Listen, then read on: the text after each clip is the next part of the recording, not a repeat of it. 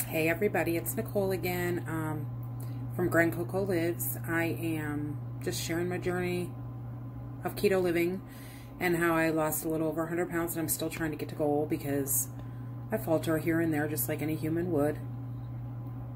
Um, I'm just quickly going to do this video just to fill you in. Um, I'm at work right now and I have a break here for a second. Um, a friend of mine just was, we were talking and she meant no harm, I'm sure. Um, but she was like, when you do your videos, you should do your hair, do your makeup, you know, yada, yada, yada, yada. And I'm like, hmm, this is me. Okay, so she was like, well, you normally wear makeup. And I said, not anymore. Um, normally I do, but I go to work, and so there's no sense me putting, I work night shift, putting makeup on for, sorry, I keep checking my work stuff.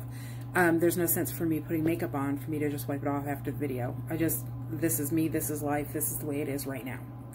With the current situation of the world, I can't wear makeup to work, and I have to wear my hair up. Um, with the pandemic going on, um, I work in the healthcare field, and I have patients, and you can't have makeup on and get it all over your N95 mask, and your hair has to be wrapped, and it has to be pulled up and we have to, um, I have patients on breathing machines. So I have to have my hair up and have covers and shield and the mask and, you know, so, and I remember when this all first started, I wore makeup one day and, because I wore makeup every single day.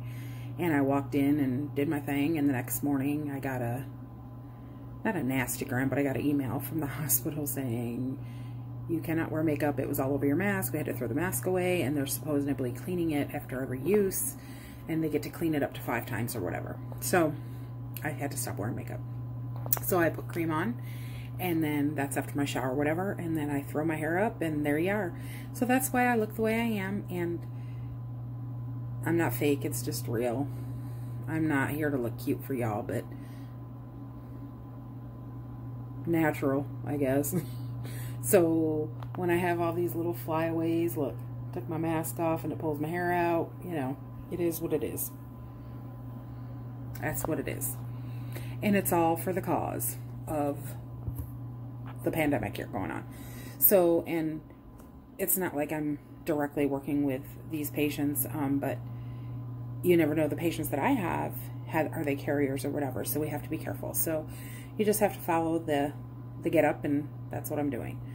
So there is the reason for those who know that I wear makeup all the time, why I'm not wearing makeup and why I'm not doing my hair. And so I work night shift. I go to take my nap or go to bed when I get home. And when I wake up, if I do a video, I just get up, drink my coffee. Okay, it's time. To, I'm going to do a video before dinner, before I leave for work at 7.